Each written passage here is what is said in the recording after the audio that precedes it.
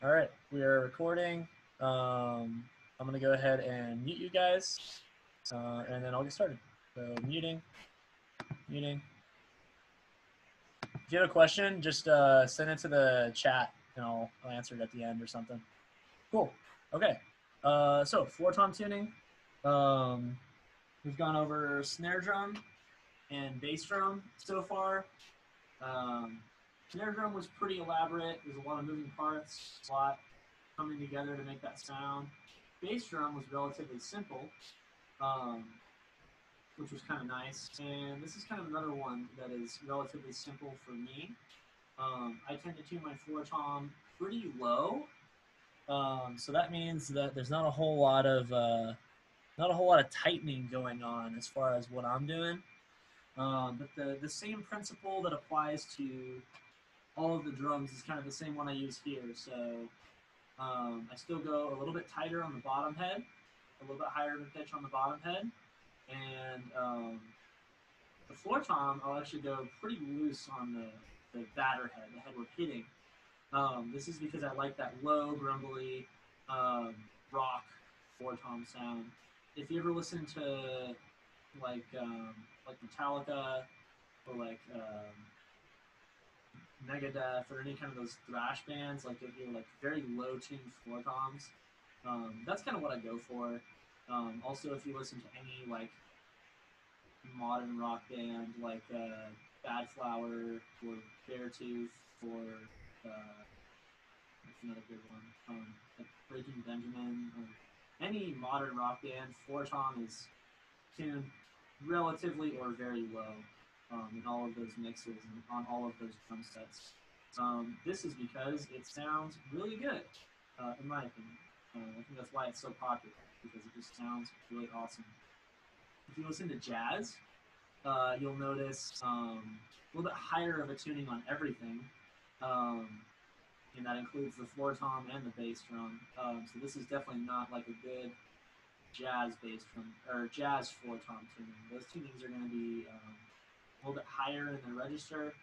And also, they tend to use um, smaller drums, anyways. This floor tom, in fact, is uh, sort of pretty close to the size of your average jazz bass drum. Uh, it's 16 by 16. Most jazz bass drums are either 16 or 18 inches in diameter. So this is actually pretty close to what a jazz bass drum would be. Um, but I'm not going to tune it. Um, like a jazz bass drum or a jazz floor tom. This is strictly rock, uh, R&B, pop, gospel tuning. Very low, um, very bassy and full and meaty. And that's what we're going for. So let's start with the bottom head today. Um, this is the, the head that produces the, uh, the resonance, controls how much ringing, controls what pitch the drum rings out at, Throw that on there. Remember, always matching up the logo of the drum head. Always matching that up with the company badge on the drum. You can see the Gretsch badge there. Always matching that up. It just looks nice.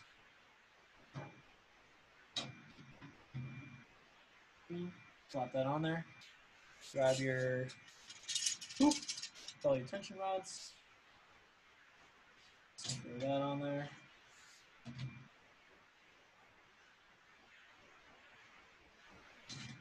And then just the usual finger tightening. Pretty tedious process, as you as y'all already know, but it's part of it, so I'm showing it.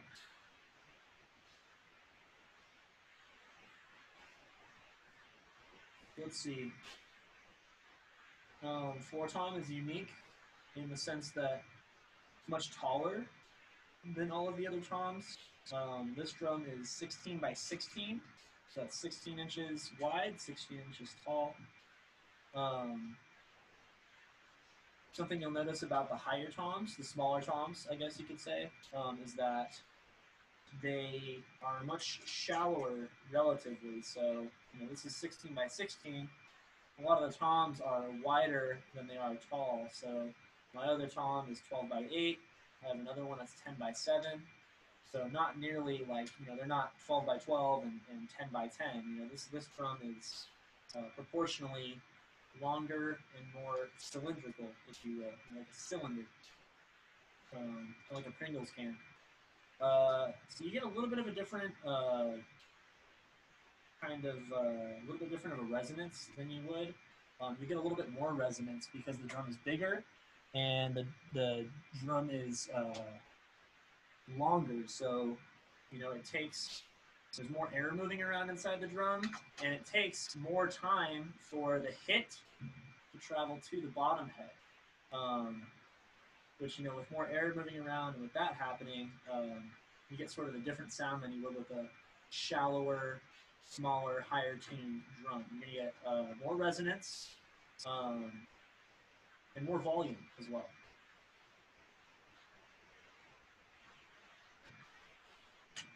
These all tightened up here. Once again, kind of a tedious process. Just in the drum key. Two.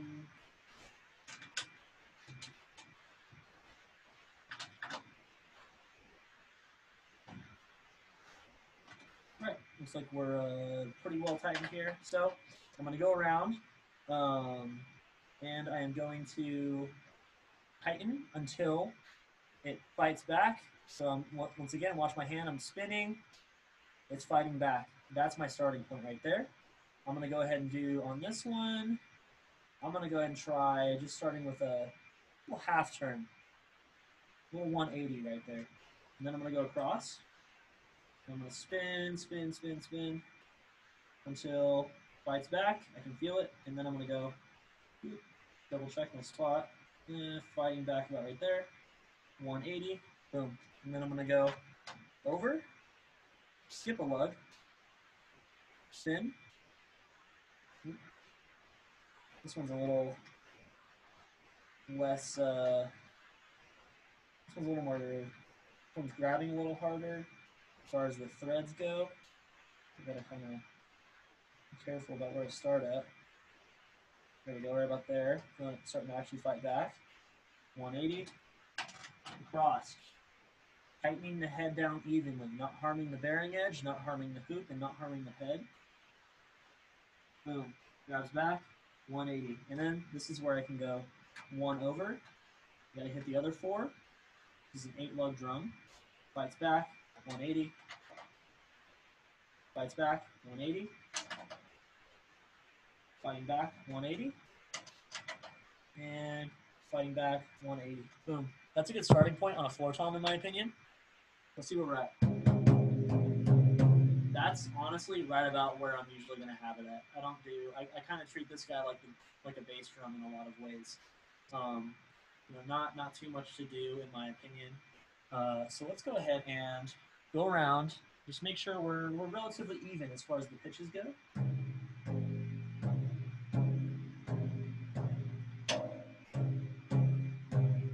low, low, low, low. Okay, so these four, these four right here, this whole band I have found is a relatively lower than these four here. So I'm going to go ahead and just do tightening, a little bit of a tightening of all four of those.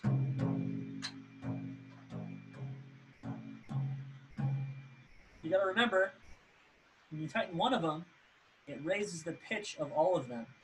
You have to be aware of, of you know, you have to take it incrementally and make sure you're not doing too much because that's going to raise everything else. You got to make sure you're very gradual about it. Because when I raised this one, it brought the pitch of this one up, actually. So this one's still a little low. I'm not going to bring it all the way because I know that when I bring these up, it's also going to raise this one as well. So I got to leave it a little low still. This one's only slightly low.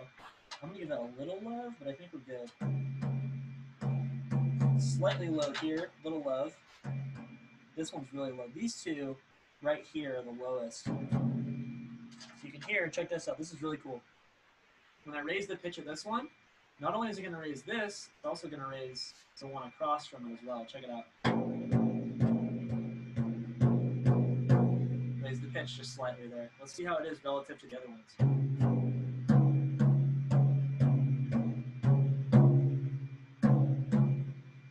This one a little low.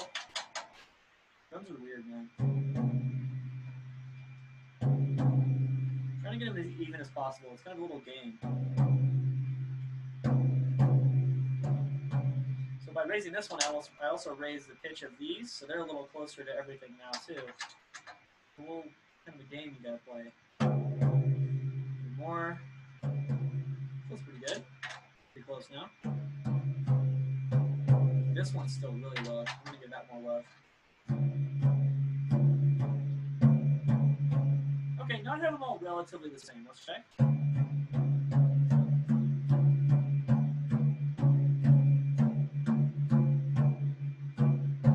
So this one, this one, and this one are all still slightly low.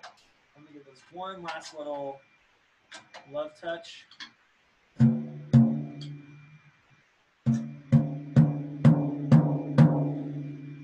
Be pretty good for a, for a starting point. They're all relatively close. You're never going to get them exact, so don't don't play that game. You're chasing the dragon at that point. You're going to be there forever. So figure out a good point to call it, be satisfied, and move on. How we doing on time here? Let's have a look. Let's have a look at the time here. Oh, boom. Right on schedule. Cool. Let's keep moving then. So, remember, logo, badge. So while I'm doing this, um, I just thought of something. If you want to know kind of an interesting secret, is that, you know, this is a pretty nice drum. Pretty nice drum set. The nicest drum set I've ever owned. It's about as expensive as my car. um, which shows you how much I care about drums. Uh, but, uh, you know, in reality, if you know how to tune well, just like if you know how to take care of a car, you can get by with something that's a little bit cheaper. You can get by with something that's a little bit cheaper. Um, you know, even uh, you know, if you know how to tune, you can make a five hundred dollar Pearl Export drum set sound amazing if you know what you're doing. If you got good heads, and you know what you're doing as far as tuning goes, then that's that's a huge part of the battle. I mean, nice drums help. No, I'm not gonna lie, you know, but you you can definitely if you know how to tune and you know how to play, you can get by with a five hundred dollar drum set no problem. Definitely not the end of the world. It's all in the tuning and the playing. But you know, the nicer the drum, the you know, the sturdier and, and, and potentially better it could sound. But I don't think it's a majority percentage of the sound. I think that has a lot to do with head choice, tuning, and the playing style. You know, um, as most of you know, I'll often tell you to play through the drum. You know, pretend that you're playing to a surface about here. Pretend the drum head is stopping you; it's getting in your way. The reason I do this is so that you're you're you're really getting the full sound out of the out of the heads and out of the drum. If you play to the drum head, your playing can tend to get a little feathery and a little light. And you can you can tend to kind of not let the, the drums reach their full potential as far as tone, sound, and texture. So the way you play and the way you tune is very important. Way more important than the kind of drum set you play. If you play an electric drum set, it's a little tougher because you know it, it, it's only going to respond so many ways because it's electric. But you know it gets the job done. Kylie, I know you're used to playing on an acoustic drum set, so you kind of have the experience there that you need. And everyone else in the chat has an acoustic drum set, so you know, pay attention to how hard you're hitting. Make sure you're hitting hard enough, and, and the drum is realizing its full potential. Cool. I've got these all about finger tight, finger tight. Uh, so now I'm going to go through and I'm going to do the exact same thing I did on the other one. I'm going to do just a, uh, honestly, I might even do less than a half turn. I'll do like a quarter turn. Let's see here. Oof. All right, so let's do, all right, so loose, loose, going until, making sure the hoop's on good here. Okay.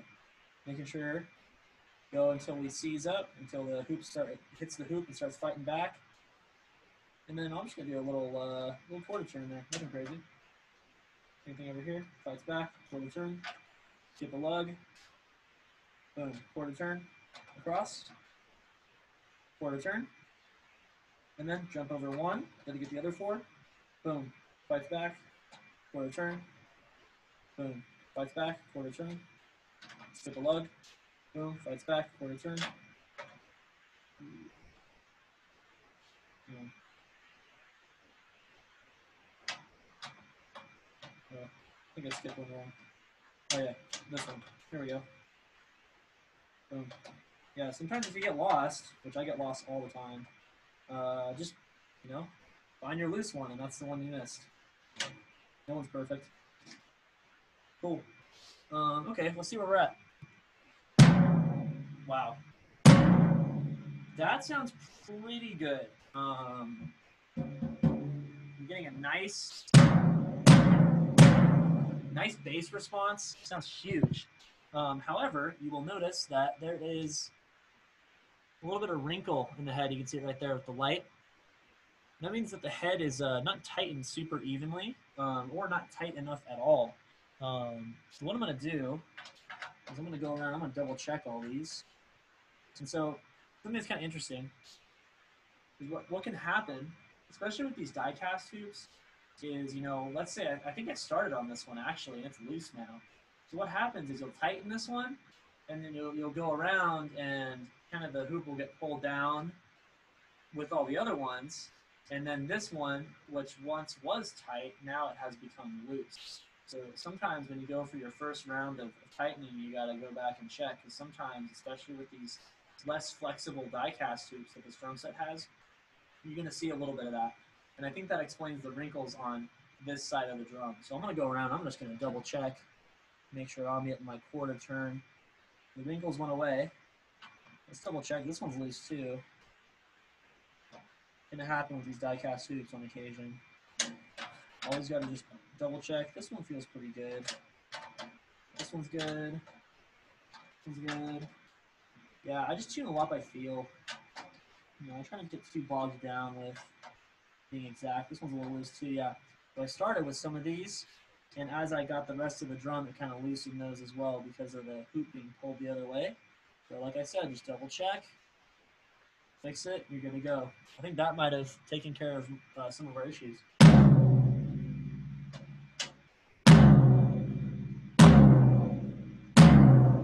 Okay, so sounding pretty good.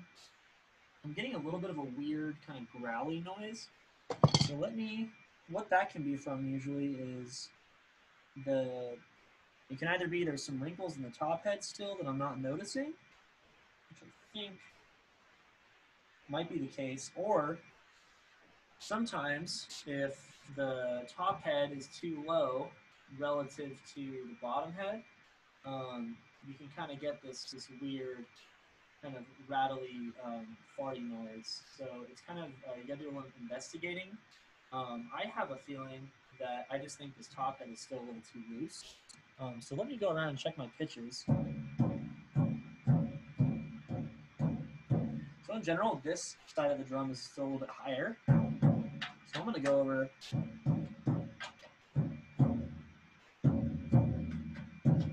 Yeah, this one was still loose for some reason. These die-cast hoops can be tricky because they're not very flexible. One solid piece of metal. It's not very flexible. The cheaper hoops are three pieces of metal fused together and thinner, a little more flexible. There we go.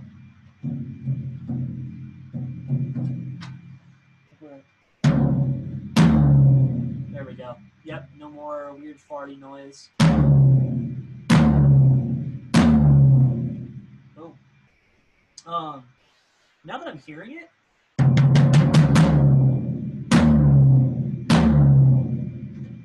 pretty good. I think I might have gone a little too tight on the bottom head.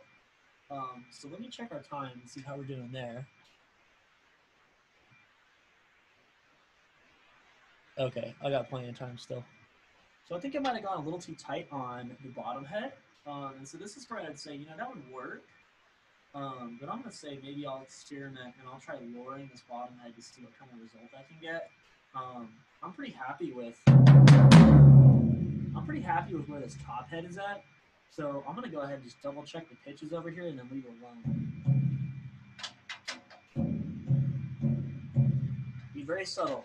No major adjustments. Make a little adjustment and then check what it's done to your sound.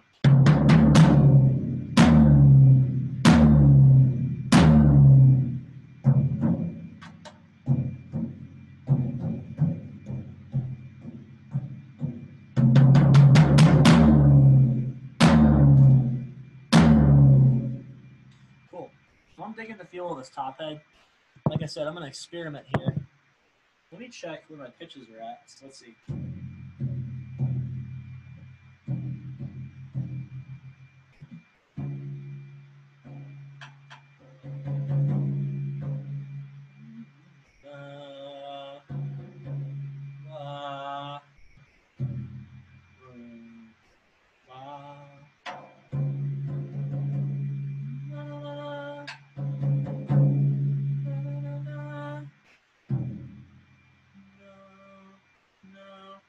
This one's just a little bit lower.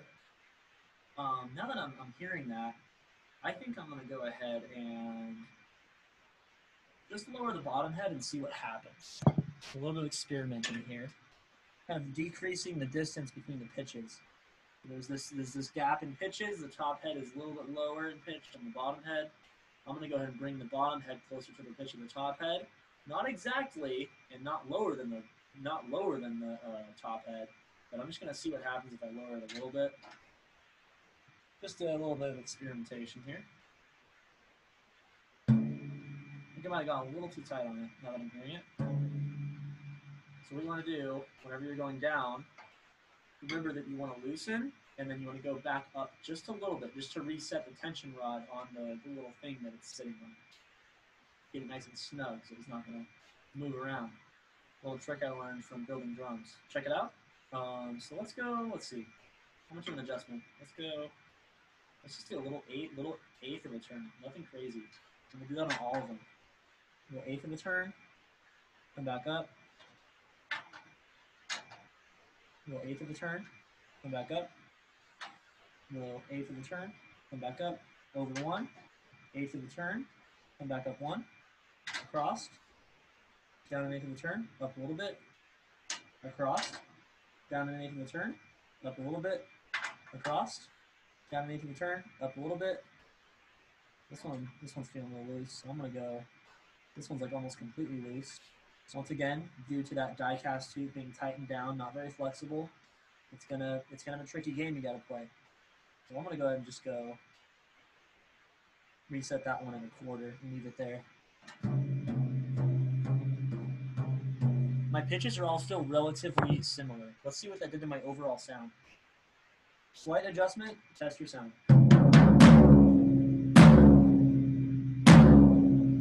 So I think I like what that did for my bass response. The heads are vibrating uh, in a way that satisfies me a little more. It's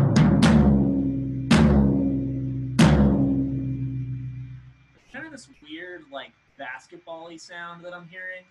Um, and to get rid of that, I'm gonna go ahead and uh, I think I'm gonna also bring the bottom head down as well, or the um, my apologies, the batter head as well. So I'm gonna go ahead and bring this one down with those little slight adjustments, just like I did the other head. You know, sometimes you'll overshoot it and you'll get a sound you like, but if you think you can get a better sound, if there's something else you're looking for, experiment and go for it. It's okay to, you know, mess around with it. That's how you find what you like.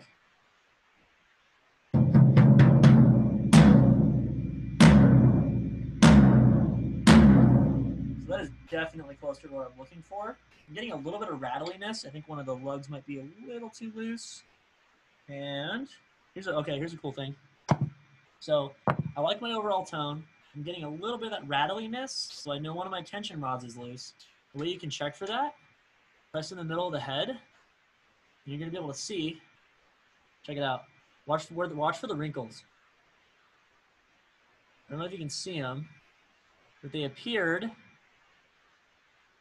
the wrinkles appeared on this side. So that means this side is a little looser. Yeah, I'll double check. Yeah, I'm only seeing wrinkles on kind of this area over here. So I know my that's where my culprit might be at. You check,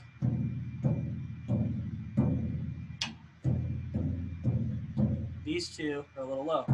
Let's bring them up. That one was really low.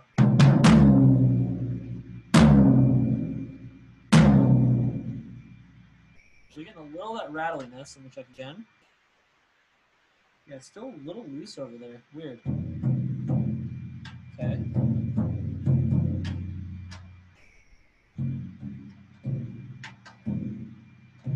Pretty good. There we go. Yep.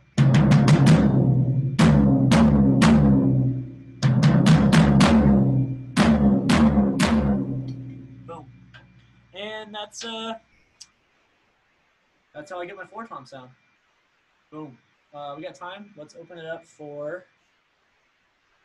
some questions. Unmute, unmute, unmute. Can everybody hear me? Yeah. Um, any, um, does anybody have anything that they found relatively interesting about that, or uh, you know, uh, anything uh, you're excited about the fact that you learned? Um, any personal experiences with uh, tuning the floor tom or tuning any other drums that you'd like to share with everyone? I mean, don't really have tuning experiences, but Right, right, right. Um, but you know, uh, I mean, do you like the way that the the floor tom at Strum sounds? yeah, it's pretty good. Yeah, so that's that kind of tuning right there. Um, and a lot of times when you're on your electric kit, that stock sound, the one that comes with it, is oftentimes sampled after that sort of tuning. It's they're not going to give you a a jazz tuning with your uh, electric drum set. The low kind of rock fat tuning is is much more common. Um, and much more widely used. What I use um, sounds great recorded as well under a microphone. Um, good stuff. Xander, do you have any questions? No. All good? Cool, dude. Uh, Sinjin, anything you found interesting? Any questions? Nothing? Cool. Very good. That means I did my job. Uh, let me think if there's any last things and then we'll be done. Uh, I'm thinking, I'm thinking, I'm thinking, I'm thinking. Uh, we're good. Cool.